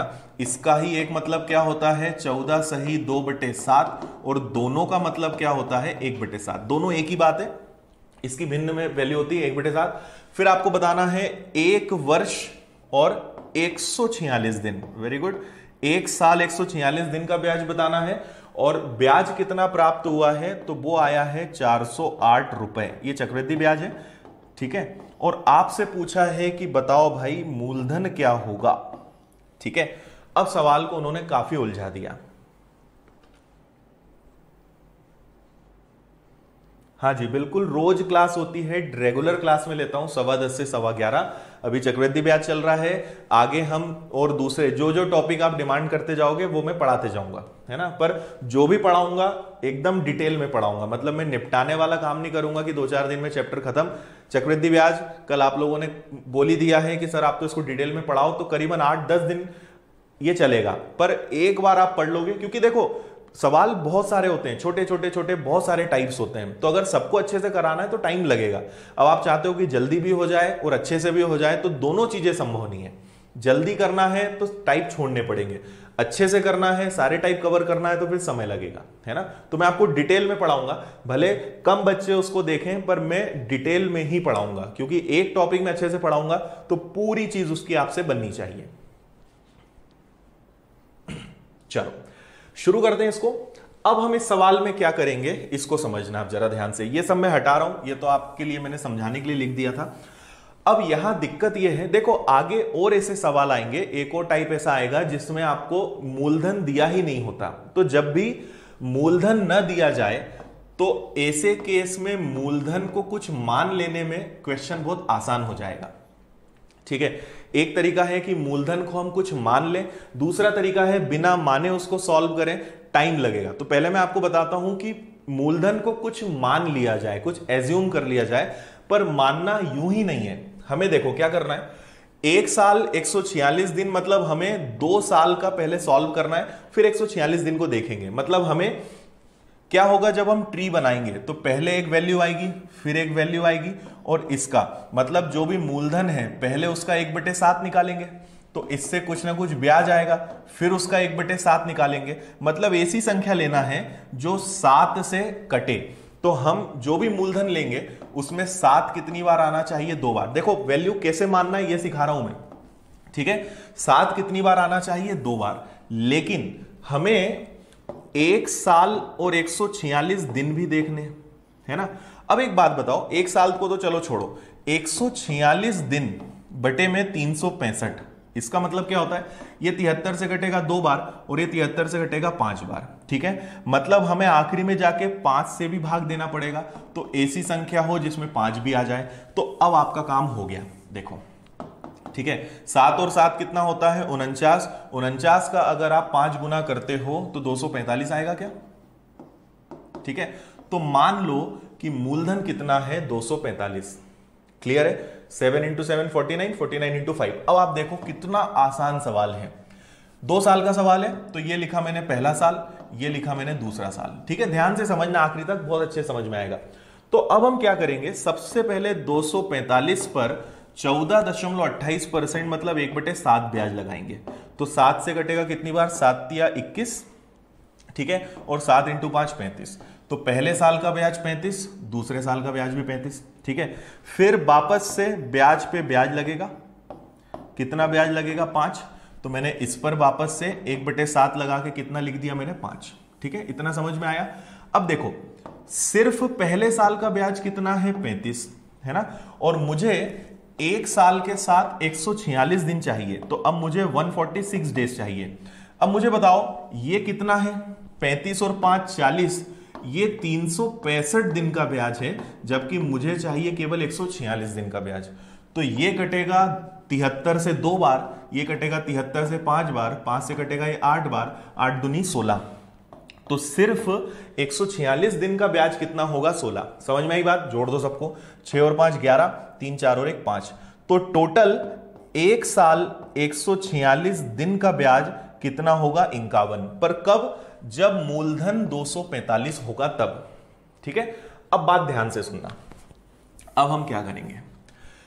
मूलधन अगर 245 हो, ठीक है तो ब्याज कितना लगता है? इंकावन ठीक है? पर एक्चुअल में ब्याज कितना लगा है? ये देखो 408 है ना? तो देखो, नियम ये बोलता है कि हमें रुपए में दिया है 408 तो 408 अगर ब्याज है तो मैं भाग भी किसका दूँगा? ब्याज का।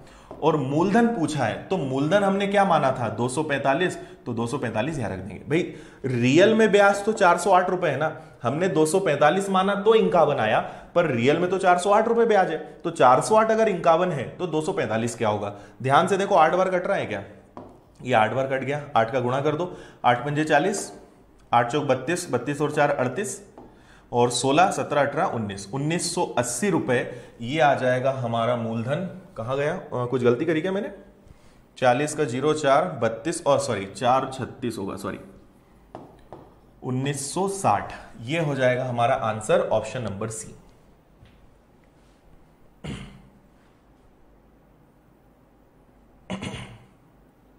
समझ में आया? देखो, यहाँ पर क्या होगा? ये मैं आगे आपको और सिखाऊँगा, है ना? एक क्वेश्चन मैंने लिया है ताकि आपको ये समझ में आ जाए कि अभी और भी चीज़ें हैं, अभी और गुंजाइश बाकी है। बाकी मैं आपको आगे ये सब सिखाऊँगा कि मूलधन कैसे माना। एक बार जल्दी से मैं बता देता हूँ, मूलधन कैसे माना? 245 वो आपको समझ में आ गया होगा, है ना? 245 रुपए पर अगर हम एक बटे सात निकालेंगे तो पहले साल का ब्याज पैंतीस दूसरे साल का ब्याज भी 35 और ब्याज पर ब्याज। तो 35 का वापस से एक बटे सात लिया तो वो आ गया पाँच। अब देखो 35 और पाँच कितना होता है 40 पर ये 40 पूरे तीन सौ पैंसठ दिनों का ब्याज है, जबकि हमें चाहिए एक सौ छियालीस। तो जब हमने तिहत्तर दुनी, तिहत्तर पंजे, पाँच से आठ बार, आठ दुनी सोलह। तो केवल 146 दिनों का ब्याज कितना है? 16 हमने इन दोनों को जोड़ दिया तो टोटल आ गया इक्यावन। पर वास्तव में ब्याज तो 408 है। तो हमने क्या करा कि वास्तव में ब्याज 408 है, पर हमारे हिसाब से ब्याज कितना है? इक्यावन। कितने मूलधन पे? 245 पे। तो एक्चुअल में मूलधन क्या होगा? पूरा हमने सॉल्व किया। हमारा आंसर आ गया उन्नीस रुपए। ये चीज़ मैं आगे आपको और सिखाऊँगा। घबराना मत, कैसे हो रहा है, क्या हो रहा है, सब चीज़ आगे अच्छे से समझ में आएँगी। चिंता मत करो। ठीक है? प्रिंसिपल कैसे एज्यूम किया, वो मैंने आपको बताया। आप थोड़ा सा वीडियो को बाद में रिवाइंड करके देखना, क्योंकि वो मैं बता चुका हूँ। ठीक है? क्योंकि देखो टाइम हो गया है और अभी हम लोग टाइप एक टाइप और बचा है। समझ में आया सभी को कैसे करना है? और अभी आगे ये टाइप और आएगा। मूलधन मानकर करने वाले अभी बहुत सारे सवाल आगे आएँगे। ये तो क्योंकि जस्ट 146 दिन था तो मैंने आपको ये सवाल बता दिया। आगे और भी हम करेंगे तो चिंता मत करो, आगे सिखाऊँगा मैं आपको और सवाल। चलो आगे बढ़े। अब एक नया बहुत इंटरेस्टिंग टाइप आपका और इंतज़ार कर रहा है। टाइप नंबर सेवन देखो यह भी बहुत मज़ेदार सवाल है।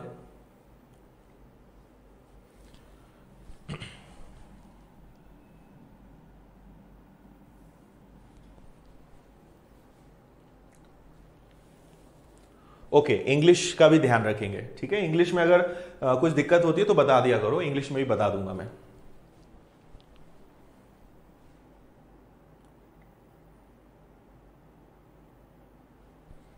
चलो, अब मैं आपको क्या नया सिखाना चाह रहा हूँ? देखो, हमारा है अगला टाइप नंबर सेवन ये एक नया सवाल है। और आपको शाम तक इन सब की पीडीएफ भी मिल जाएगी। टेलीग्राम ग्रुप ज्वाइन कर लेना आप लोग। The winners institute Aditya Patel नाम से आपको ग्रुप मिलेगा, उसको ज्वाइन कर लेना। वहाँ से आप ये सब डाउनलोड कर सकते हो, है ना?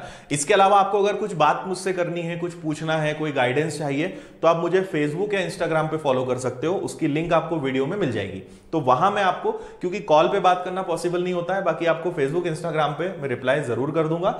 वहाँ आप, आपकी बात पूछ लीजिए। चलो। अब अगला हमारा सवाल है, मैं आपको एक छोटी सी बात बताता हूँ। पहले मैं इसकी ट्रिक बता देता हूँ कि इसमें ट्रिक क्या होती है, और आप कहोगे तो मैं उसका लॉजिक भी बता दूँगा कि उसके पीछे का रीजन क्या है, हम ऐसा क्यों करते हैं। तो पहले तो ट्रिक समझ लो क्या है। देखो, अगर कभी भी, यहाँ क्या बोला है, दो रुपए दो साल में कितना बन गए? दो रुपए बन गए। ठीक है? तो आपको बताना है रेट ऑफ़ इंटरेस्ट क्या है। ऐसे सवालों में हमेशा क्या पूछा जाता है? रेट ऑफ़ इंटरेस्ट क्या होगा? ठीक है? अब एक बात ध्यान रखना कि कभी भी सवाल अगर दो साल का है तो आप हमेशा वर्गमूल लगाना। अगर सवाल तीन साल का है तो आप हमेशा घनमूल लगाना। ऐसे ही आगे बढ़ते जाएगा। ठीक है? समझो, यहाँ सवाल कितने साल का है? दो साल का तो मैं वर्गमूल लगा दूँगा दोनों संख्याओं पर। ठीक है? 225 किसका वर्ग होता है? 15 का। 256 किसका वर्ग होता है? 16 का। तो ये जो आता है ना, ये पता है प्रिंसिपल और अमाउंट मिश्र, मूलधन और मिश्रधन का अनुपात है कि अगर पंद्रह रुपए उधार दिए होंगे तो वो क्या बन गए होंगे एक साल में? सोलह। मतलब कितना ब्याज लगा? एक। किस पे? पंद्रह पे। और गुणा कर दिया सौ का। सॉल्व करोगे पंद्रह इंटू एक बटे पंद्रह की वैल्यू वैसे भी आपको याद होनी चाहिए। नहीं याद है तो हल करना। आपका आंसर आएगा छह सही दो बटे तीन। ये हो गया हमारा सॉल्व। समझ में आया? लॉजिक मैं आपको बता रहा हूँ। पहले आप मेथड समझ लो, करना क्या है। दो साल का सवाल आया तो वर्गमूल, तीन साल का सवाल आया तो घनमूल, और ये आगे बढ़ता जाएगा। चार साल का सवाल आया तो हमें देखना पड़ेगा कि किसकी घात चार है। और एक सवाल आपके दिमाग में आएगा जो ऑफलाइन वाले बच्चे भी हमेशा मुझसे करते हैं कि सर अगर किसी संख्या का वर्ग ना आए तो? तो ऐसा कभी नहीं होगा कि ये किसी संख्या के वर्ग या घन स्क्वायर या क्यूब ना हो। और अगर ना हो तो क्या करना है? वो भी मैं आप, आगे आपको सिखाऊँगा ठीक है? पर अभी जो बता रहा हूँ बस वो सुन लो। समझ में आया?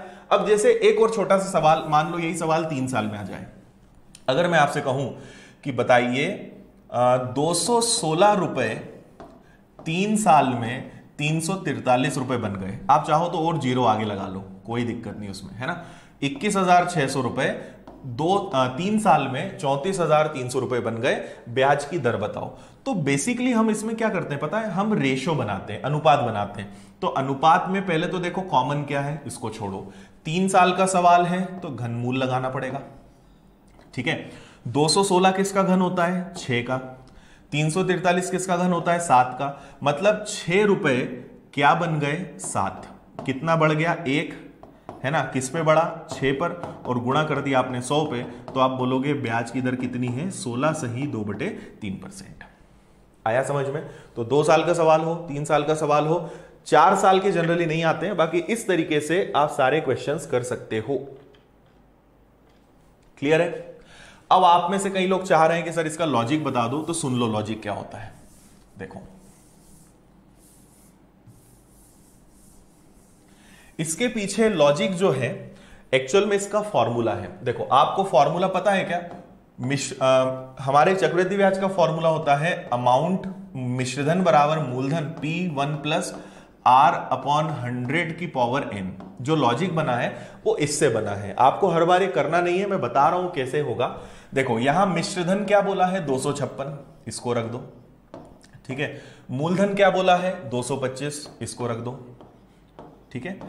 वन प्लस आर आर तो निकालना ही है, नहीं पता। और कितने साल में? दो साल में। ठीक है? अब दो को यही रहने दो। 225 को इसके नीचे ले आओ, है ना? और बराबर में क्या बचेगा? One plus R upon hundred की पावर टू। यही बचेगा। तो आप क्या करोगे? अगर इस टू को यहाँ से हटा दो, ठीक है? इस टू को अगर हटा दो तो वो इधर वर्गमूल बन जाएगा बन जाएगा। अब इधर देखो, दो किसका वर्ग होता है? 16 का। 225 किसका वर्ग होता है? 15 का। और ये जो वन प्लस में है, वो इधर आके माइनस हो जाएगा। और बचेगा कितना? आर बटे सौ। ठीक है? पंद्रह एकम पंद्रह, सोलह में से पंद्रह गया, एक बटे पंद्रह, ये सौ इधर आ जाएगा। और बराबर में हो जाएगा आपका आर, सौ बटे पंद्रह। यही तो हमने किया था। पंद्रह पर एक रुपए ब्याज लगा था। आंसर आएगा आपका छह सही दो बटे तीन। तो देखो, बात क्या है? मैं आपको क्या समझाना चाह रहा हूँ? यहाँ जो एन आएगा, भाई, दो साल का सवाल आएगा तो आप दो रखोगे। तीन साल का सवाल आएगा तो तीन, चार साल का सवाल आएगा तो चार। तो हमेशा वो हटके या तो वर्गमूल बनेगा या घनमूल बनेगा। तो जो भी संख्याएँ, अगर संख्याएँ कट रही हैं तो काट दो। नहीं तो जो है वही रहने दो। वो ज़रूर किसी ना किसी के वर्ग या घन होंगे। इसलिए आपको चिंता नहीं करनी है। इस तरीके से एक्चुअल में वो ट्रिक बनी है। बाकी आपको मैंने लॉजिक बता दिया कि उसके पीछे का रीजन क्या है। समझ में आ रही है बात? इसलिए चिंता मत करो, इतना सब करने की ज़रूरत नहीं है, सिंपल सा फंडा मैंने आपको बताया है, उससे करो। देखो, अगला क्वेश्चन करते हैं। अगला हमारा सवाल है तेवीस सौ चार रुपए दो साल में पच्चीस सौ रुपए बन जाते हैं, दर ज्ञात कीजिए। अब यह सवाल आप कर सकते हो, नहीं कर सकते हो तो मैं बताऊँगा, एक बार कोशिश करके ज़रूर देख लो।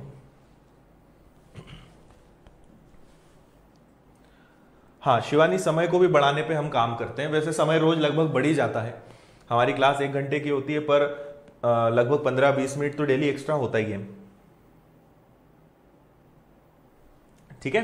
देखो, अब हम क्या करेंगे? पहले आपने देखा कि दो साल है। तो मैंने कहा तेवीस सौ चार रुपए, दो साल में पच्चीस सौ रुपए बन गए, है ना? अब आपका मुझे नहीं पता कि आपको वर्ग याद है कि नहीं, बाकी मुझे तो याद है। मुझे पता है तेवीस सौ चार जो है, देखो, दो साल आया मतलब वर्गमूल लगेगा। दोनों पे वर्गमूल लगेगा। तेवीस सौ चार किसका वर्ग होता है? अड़तालीस का। पच्चीस सौ किसका वर्ग होता है? पचास का। मतलब अड़तालीस रुपए थे, वो पचास बन गए, ठीक है? तो कितना ब्याज लगा? दो रुपए। किस पे लगा? अड़तालीस पे। और गुणा कर दिया किसका? सौ का। दो से कैंसिल हुआ, चौबीस बार। चौबीस का भाग दोगे, चौबीस इंटू चार, छियानवे।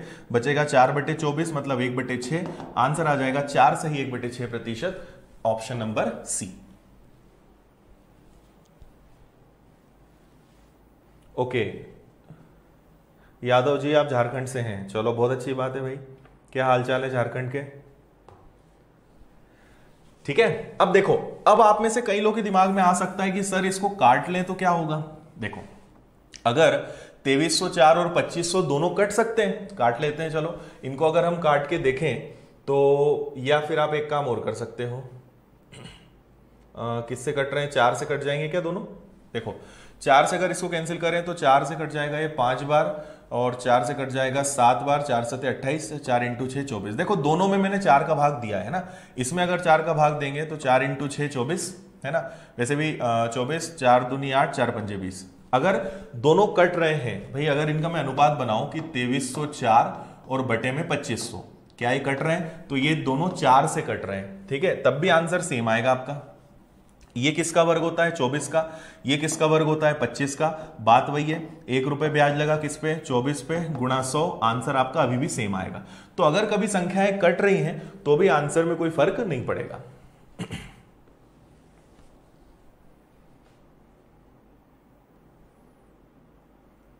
ओके? चलो, बहुत अच्छी बात। आगे बढ़े, समझ में आ गया होगा। अब अगला क्वेश्चन देखो, फिर मज़ा आएगा आपको। ठीक है? थोड़ा सा उधर का पार्ट कट रहा है कंपाउंड इंटरेस्ट है, बाकी ताकि आपको अच्छे से दिखे, इसलिए मैं क्वेश्चन को थोड़ा सा बड़ा कर रहा हूँ। एक हज़ार चौबीस रुपए, तीन साल में चौदह सौ अंठावन बन जाते हैं। आपको बताना है दर क्या है। बहुत ही मज़ेदार सवाल।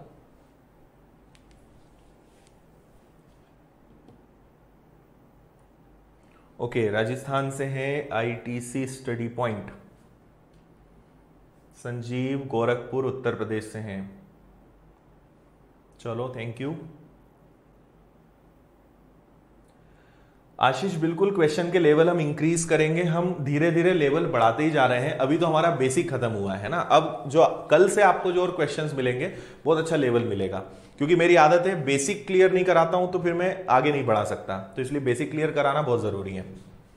चलो इसमें देखें बस आ, मुश्किल से पाँच मिनट में हमारी क्लास खत्म होने वाली है। ज़्यादा क्वेश्चंस नहीं बचे अब। फटाफट हम क्वेश्चंस को सॉल्व करेंगे है ना? तो पाँच मिनट के अंदर अपना आ, जो आने वाले तीन चार क्वेश्चन है वो सॉल्व हो जाएँगे। इधर ध्यान दें एक हज़ार चौबीस रुपए तीन साल में चौदह सौ अंठावन रुपए बन जाते हैं। अब दिक्कत यह है कि तीन साल आया, तीन साल आया मतलब क्या होना चाहिए? क्यूब, घन होना चाहिए। एक हज़ार चौबीस किसी का घन नहीं होता, चौदह सौ अंठावन किसी का घन नहीं होता, एक हज़ार चौबीस भी किसी का घन नहीं है, चौदह सौ अंठावन भी किसी का घन नहीं है। तो मैं पहले तो देखूँगा कि क्या ये कट रहे हैं। दोनों दो से कट जाएँगे, है ना? तो दो से अगर इसको मैंने काटा तो ये 512 बन गया। दो से अगर इसको काटा तो ये सात बन गया। ठीक है? तीन साल का सवाल है, क्यूब लगेगा। मैंने कहा था ना कि ज़रूर वो किसी ना किसी के क्यूब या स्क्वायर होंगे। वर्ग या घन तो वो किसी ना किसी के ज़रूर होंगे। तो आपको कुछ नहीं करना है। 512 किसका घन है? आठ का। सात किसका घन है? नौ का। आठ से नौ लग गया मतलब एक रुपए ब्याज। किस पे? आठ पे, गुणा कर दिया आपने सौ का रेट ऑफ़ इंटरेस्ट आ गया आपका कितना? साढ़े बारह परसेंट। ठीक है? ऑप्शन नंबर ए कोई दिक्कत? एमपीएसआई की वैकेंसी अरविंद इस साल के आखिरी तक आने की उम्मीद है है ना? क्योंकि बाकी वैकेंसी आएगी, ये कंफर्म है।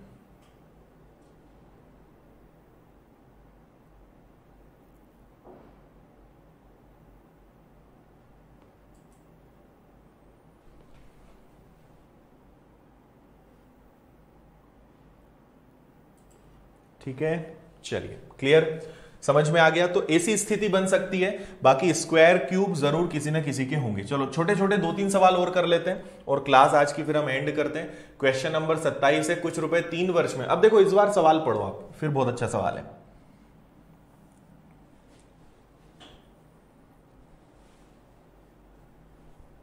हाँ आशीष, अभी और भी नए क्वेश्चंस आएँगे जो मैंने ऑफलाइन क्लास में नहीं करवाए हैं। है ना? क्योंकि देखो, कोई भी चीज़ पढ़ाएँगे तो जो बेसिक क्वेश्चन है, वो तो सेम रहेंगे।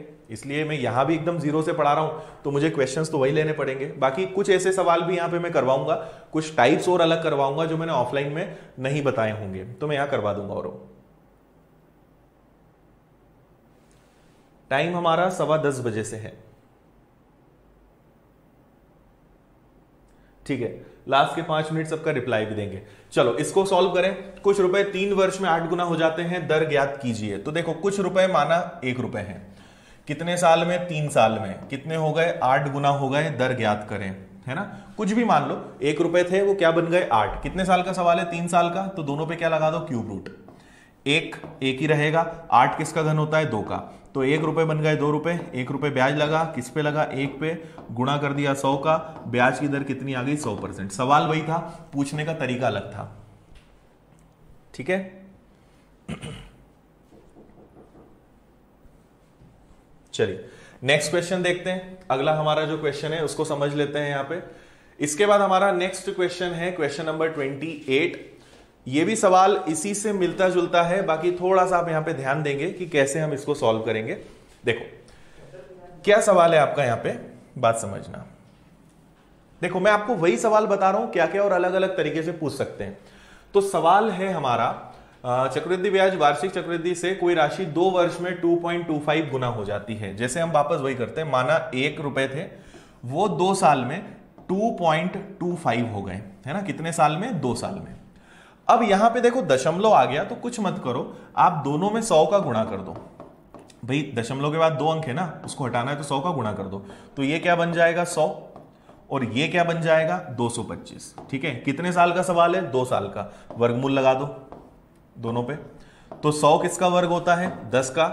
15 किसका वर्ग दो सौ पच्चीस का वर्ग क्या होता है? 15 तो 10 पे 15 हो गया मतलब पाँच रुपए ब्याज लगा 10 पे, गुणा कर दिया आपने 100 का रेट ऑफ़ इंटरेस्ट आपका आ गया 50 परसेंट ठीक है? सेम सवाल था, थोड़ा सा पूछने का तरीका चेंज हो गया। देखो अच्छा एक सवाल है कि सर एक रुपए ना मान के पाँच रुपए मान ले तो अगर आप, जैसे पिछले वाले सवाल में एक से वो आठ गुना हो गया, अगर पाँच मानोगे तो वो कितना हो जाएगा? चालीस। पर कटने के बाद तो वापस से एक और आठ ही आएगा। तो अगर आप कुछ और संख्या भी मानोगे तो कैंसिल होने के बाद अनुपात वही मिलेगा। इसलिए एक मानोगे तो ज़्यादा अच्छा रहेगा।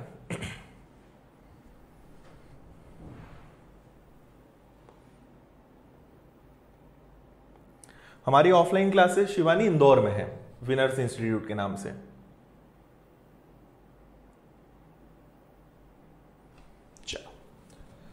नेक्स्ट अगला क्वेश्चन देखें क्या है? टोटल थर्टी क्वेश्चन है, ये हमारा उनतीसवा सवाल है। इसको भी मैं आपको जल्दी से बता देता हूँ, काफ़ी इजी क्वेश्चन है ये वाला भी।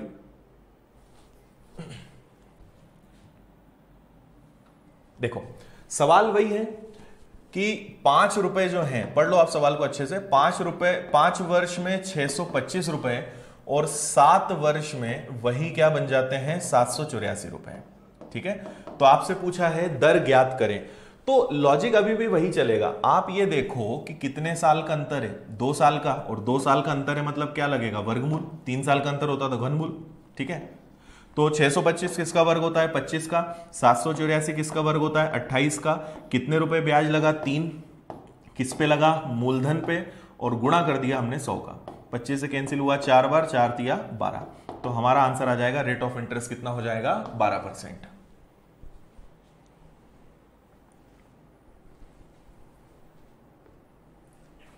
बिल्कुल। देखो, हमारी क्लास को वैसे भी एक घंटे बीस मिनट तो हो गए, और आखिर में पाँच मिनट बात करेंगे तो डेढ़ घंटे हो ही जाना है। चलो लास्ट क्वेश्चन की तरफ़ हम बढ़ते हैं, और इसका आंसर आप ही लोग देंगे, इसको मैं सॉल्व नहीं करूँगा। और इसकी पीडीएफ शाम को आप डाउनलोड कर लेना है ना टेलीग्राम ग्रुप पे आपको इसकी पीडीएफ मिल जाएगी, इसको सॉल्व डाउनलोड कर लेना।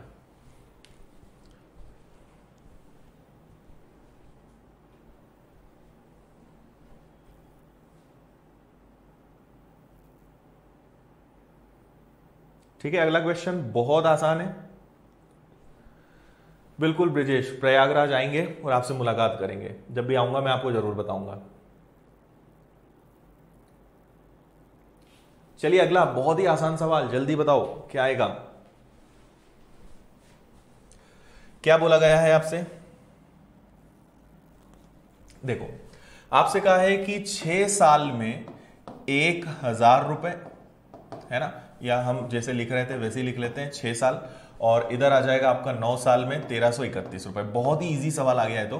कितने साल का अंतर है? तीन साल का। क्यूब रूट लगेगा। एक हज़ार और तेरह सौ इकतीस। किसके हैं?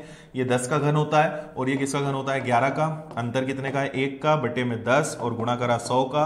आपका आंसर आ जाएगा rate of interest is ten percent that's it